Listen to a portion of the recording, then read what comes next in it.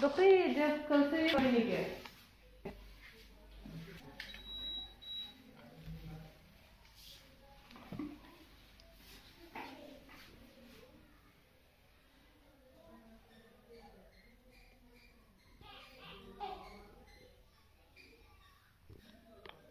तो दो तीन बार कर चुकी है।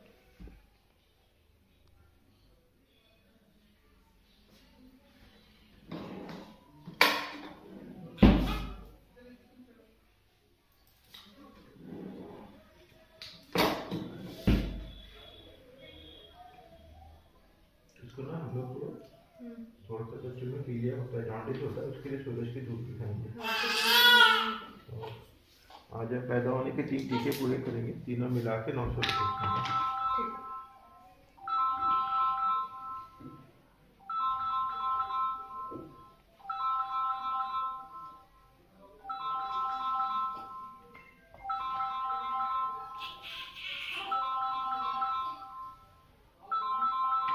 नहीं अभी तो देखना है इनको ठीक है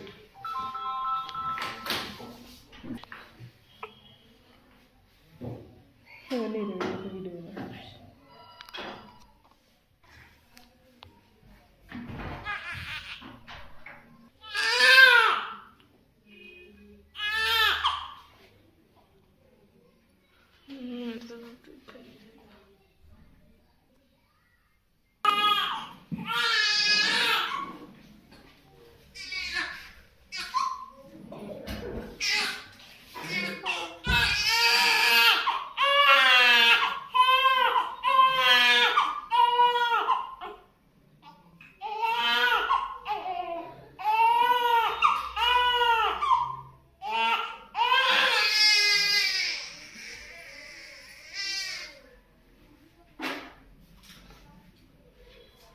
इसको।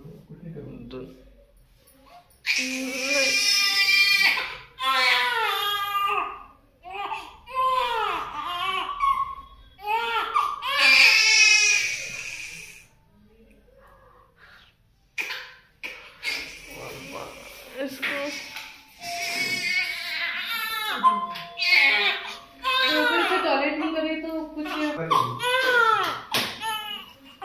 बेटा। in here.